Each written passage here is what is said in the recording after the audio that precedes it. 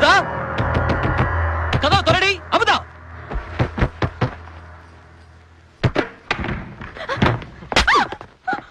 இவ்வளவு நேரம் கதவு சாத்திட்டு உள்ள என்ன பண்ற? உனக்காக தானே ஊர்ல உள்ள வேலையை போட்டு ஓடி வந்தாங்க. உங்க அப்பா அம்மா வந்தா மட்டும் கால்ல சக்கரத்தை கட்டிட்டு தலைமையில தூக்கி வச்சு ஆடுறல இப்ப என்னடி ஆச்சு? பீட பீட.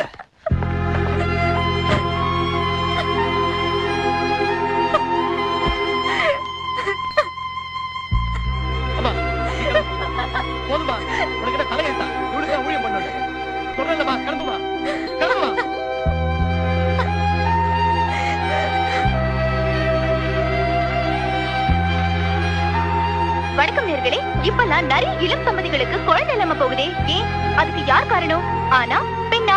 அது எப்படி சரி செய்யறது? அப்படிங்கறத பத்தி தெரிஞ்சுக்கிறதுக்காக குழந்தைகள் நல மருத்துவர் டாக்டர் கனிமொழிய இப்ப நம்ம சந்திக்க போறோம். வணக்கம். இப்பெல்லாம் யங் ஜென்ரேஷன் பீப்புளுக்கு குழந்தை இல்லைங்கிற ப்ராப்ளம் அதிகமா இருக்கு. அதுக்கு என்ன காரணம்னா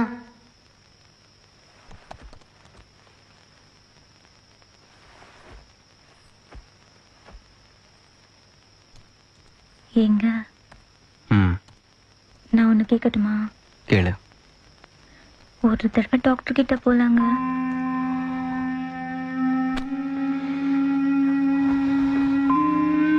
ஏங்க ஒரே ஒரு தடவை.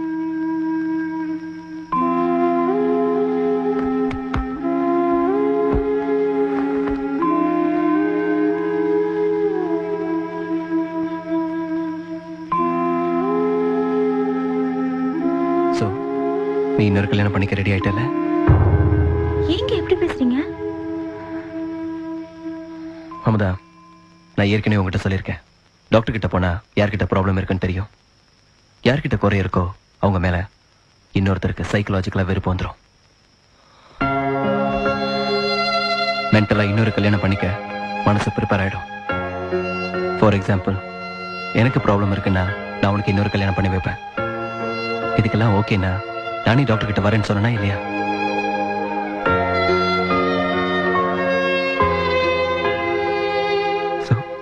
நீ இத்தனை நாள் யோசிச்சு இப்ப டாக்டர் கிட்ட போலன்னு சொல்றேன் இதுக்கு என்ன அர்த்தம்?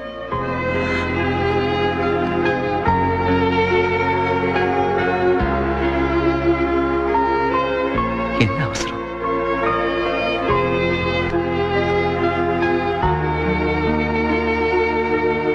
கொஞ்ச நாள் வெயிட் பண்ணுவாமதா உனக்கு ஒண்ணு தெரியுமா? என் ஃப்ரெண்டோட அண்ணன் ஒருத்தருக்கு பத்து வருஷம் கழிச்சு தான் குழந்தைய பிறந்திருக்கு. இப்ப அவங்க ரொம்ப சந்தோஷமா இருக்காங்க. புரியுதா?